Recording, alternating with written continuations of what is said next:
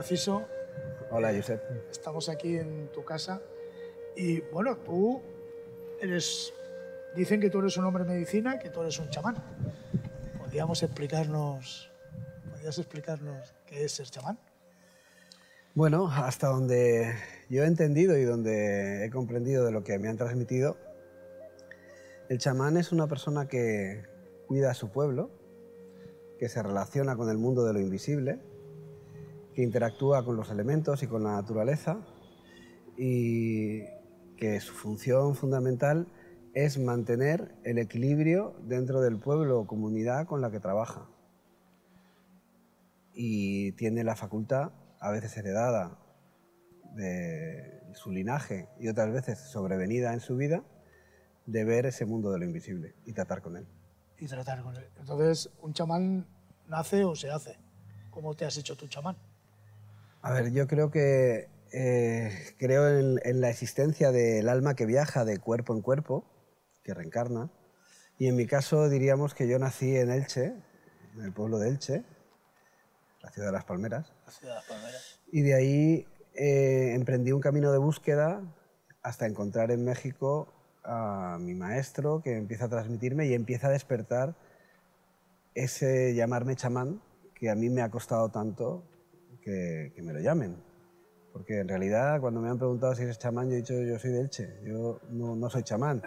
No soy como el abuelo que nació en la selva y recibió la transmisión de sus antepasados, porque su abuelo fue granicero, yerbatero, o sobador.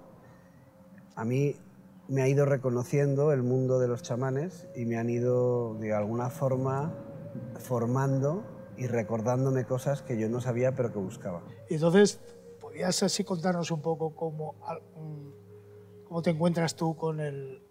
Eh, si vas buscando con lo primero que... con la primera destello, con el primer mensaje que a ti te da decir, tengo que girar? Bueno, eh, la vida me, me, iba dando pequeñas señales por mi búsqueda desde pequeño, pero empiezan a agudizarse cuando empiezo a relacionarme en las paradas, incluso en los puestos de, las ferias alternativas, con la gente de Perú, gente de México, mi llamada del Machu Picchu. Yo nunca pensé en México. Y, cuando realmente eh, me doy cuenta de que ese es mi camino, es cuando una vez en México, en el año 2001, eh, entro en contacto con, con personas que se dedicaban al chamanismo, pero como investigación para crear una línea de productos de belleza. Y es entonces cuando entro en contacto con ellos, empiezo a experimentar sensaciones de percibir en la gente a la hora de tocarlos la circulación energética y a partir de ahí Baguari, mi maestro, me muestra y me confirma que el SACB esa circulación energética que yo veía, era lo que yo tenía que trabajar y yo tenía que despertar a raíz de eso. ¿Sakbe es un camino? Entonces. Sakbe en lengua maya es camino blanco. El ser humano, el maya, trabajaba con ese Sakbe para despertar su interior, conectar con la naturaleza y escuchar sus espíritus guías y sus animales de poder.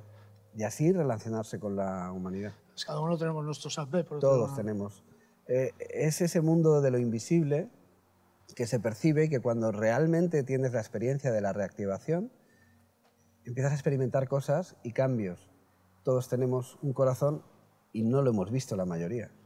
¿Y qué hace un chamán en Europa, en España, en, Valencia? Don Asterio, que es el abuelo maya con el que yo trabajo en, Cancún, en Yucatán, eh, y la Liga de Comunidades Mayas me nombran Nohop Sukun, que es algo que rara vez he comentado, pero es el nombramiento de hermano mayor de los mayas en Europa, en España y en Europa. Con lo cual una función tenía que hacer y mi camino siempre ha sido transmitir la enseñanza maya y trabajar con las personas la energía humana que cada uno tiene. Entonces aquí nosotros, bueno, tú eres chamán aquí, tú has dicho que un chamán eh, trabaja con la sociedad, es la sociedad la que lo tiene que reconocer como chamán. Así es. Así es, de hecho...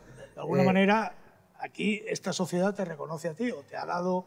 El grupo de amigos me llaman chamán, pero yo no me he considerado o no he aceptado ese, ese nombre hasta que en realidad no me he dado cuenta de que realmente hago algo en, e, ese sentido. El, el, camino del hombre medicina es mi camino. Y mi medicina, el mío. Y mi medicina es saber utilizar los elementos para poder trabajar con la energía humana, utilizando métodos como son las limpias chamánicas, las, limpias chamánicas que se hacen en este espacio, en este círculo sagrado, o la sobada maya, que yo realizo en sesiones en camilla a través del masaje, o trabajos a distancia con gente que necesita de tu ayuda y tú trabajas con su energía humana.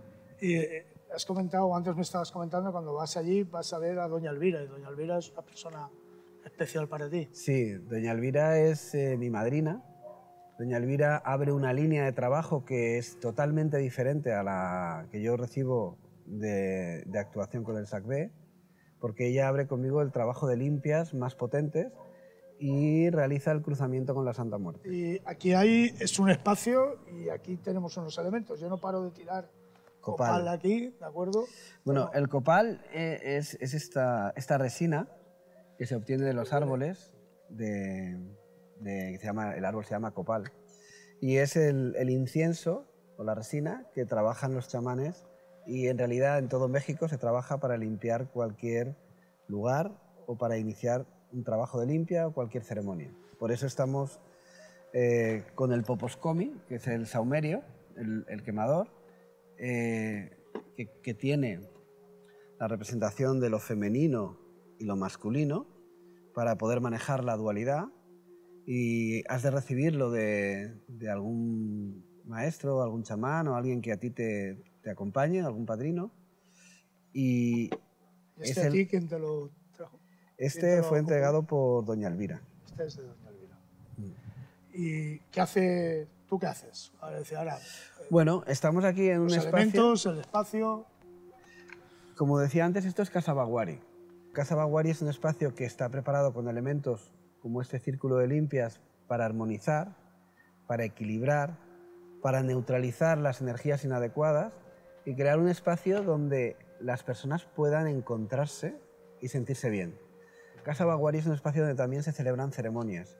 Ceremonias que nos van acompañando durante, yo le llamo ceremonias de la tierra, porque son las ceremonias que nos van acompañando durante el año, que se repiten y que cada año son diferentes pero, liturgia anual claro, eh, alrededor de la energía de la Tierra. Exacto. Donde las personas participan, algunas las celebramos en espacios en la naturaleza, como en las playas, y otras las celebramos en casa, las más íntimas, donde hay menos gente. Luego tenemos el trabajo de limpias. En el trabajo de limpias utilizamos el ayacastli. El ayacastli es un elemento que unifica diferentes medicinas. Llamamos medicinas a las cualidades con las que tú puedes trabajar de algún animal o de algún elemento de la naturaleza. Por ejemplo, estos son ayoyotes. El ayoyote es una semilla que sale de un árbol y antiguamente se rellenaban con piedras de hormiguero. Como las piedras de hormiguero al tiempo se deshacen del, del, uso, estas llevan balines. Pero es un, elemento muy tradicional. Lleva el, lugar donde se porta, en este caso es de bambú, un bambú trabajado para proteger. Lleva eh, los flecos, lo que hacen es traer la energía que tú vas a trabajar y sacar la que tiene que irse. Y al moverlo, nosotros trabajamos con todos los elementos de la naturaleza se mueve el aire, el agua, la tierra, el fuego y el espacio-tiempo. Y entonces el chamán en la limpia, o la persona que realiza la limpia, hace un trabajo de sanación y armonización con la naturaleza. Tenemos elementos, espacios y luego eh, me has comentado que hay un sitio central de donde emana todo, donde va todo. Bueno. Que es, eh, le, has llamado eh, altar, ¿no? Eh, lo, has, debido de recibir, porque lo estaba pensando, pero no lo he dicho. Bueno, pues lo he recibido. sí, en el interior, en un espacio como es Casa Baguari, o como cualquier lugar, el lugar más representativo es el altar, porque el altar es el alma de la persona. En el altar se representa, sí, mi persona. En el altar se representan los diferentes elementos de tu viaje. Hay piezas muy especiales que son las más significativas, pero que están ocultas entre todo el altar, porque el que tenga que ver, que vea, y el que no... Que lo vea, ¿no? Y como dicen por ahí, el secreto se protege solo. Entonces el altar está a la vista de todas aquellas personas que vienen a trabajar en camilla o en la sala y el altar está acompañado por todas las medicinas de todos los guardianes. Y sirve para canalizar la energía, para filtrar todo aquello que es inadecuado y no entre en una sesión de trabajo donde estás armonizando al ser de la persona. La gente, ¿por qué viene aquí? ¿Por qué va? La gente, ¿qué busca? Me imagino que, la, que, que el que busca viene. ¿Y qué, qué buscan? ¿En ti? ¿O qué buscan en, en, el hombre medicina? ¿O qué buscan en aquí? Nosotros lo que hacemos aquí, eh, sobre todo, eh, es aliviar el dolor y tratar de acompañar en los procesos que cada persona tiene. Entonces, hay algunas personas que vienen por una dolencia de espalda, por un problema de insomnio, por un problema digestivo, por ansiedad. Otras personas vienen porque no teniendo ningún problema están buscando algo que les abra eso que llevan en su búsqueda interior. Y entonces eh, en una sesión puedes ver eh, su trabajo con el mundo de los espíritus guías, qué, qué tipo de animal o medicina le acompaña. Pero y otra cosa que tú has dicho antes, que la gente viene a limpiarse. ¿Limpiarse de qué? Cuando haces un trabajo de limpia, lo que haces es pasar el antivirus, arrastras aquello que puedes retirar. Hay troyanos que a veces no los quitas de la primera y tienes que trabajar un poquito más. Y lo que haces con el trabajo primero es limpiar, retirarle esas energías en forma de pensamiento, en forma de malos pensamientos que alguien te ha deseado, el famoso mal de ojo, algo que tú llevas dentro porque alguien te ha hecho un trabajo. También te defiendes. Bueno, eh, claro, yo lo que, lo que ayudamos... Cuando alguien te hace un trabajo es que alguien te ha deseado algo malo hacia Hay ti. dos formas de hacerte un trabajo. El involuntario por un pensamiento, una mirada, y el que tú encargas a alguien para que te haga un mal. Y, y, y son muy bien ¿y pagados. ¿Quién te lo hace? El que te lo hace un Persona, chamán. personas, eh, eh, puede ser un chamán, Malo. claro, es alguien que trabaja con una energía oscura. oscura. Y lo que hacemos aquí es retirar cualquier trabajo, ya sea el famoso amarre para unir a dos personas, que yo cuando hago mis transmisiones eh, digo y decreto que nadie podrá manejar la energía que yo he transmitido para manipular la voluntad de nadie, ni hacer daño a nadie, pero luego está el libre albedrío, está el lado oscuro de la fuerza. Eh, eh, ¿no? Está. Entonces, una cosa, para, para encontrarte a ti mismo, ¿no? Primero hay que limpiarse, ¿no? Y luego ya pasamos Claro. a que tú en camilla ves lo que el otro... Lo importante en el, trabajo, para mí lo importante ha sido que yo he tenido la suerte de encontrar chamanes, abuelos, gente de medicina, los que saben, que lo que han hecho ha sido enseñarme a trabajar, enseñarme a despertar en mí.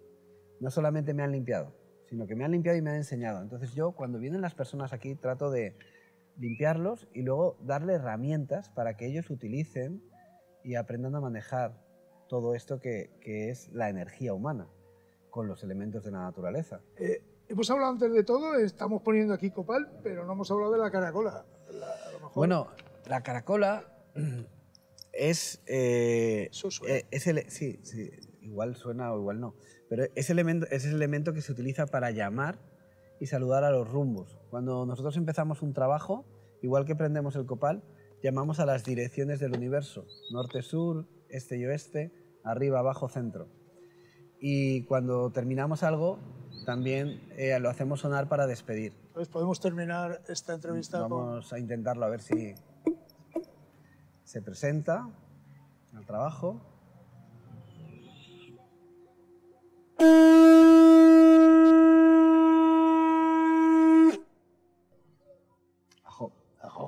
In la quech, alaken, que es el saludo en lengua maya. Yo soy tú, como tú eres yo. Gracias, Narciso.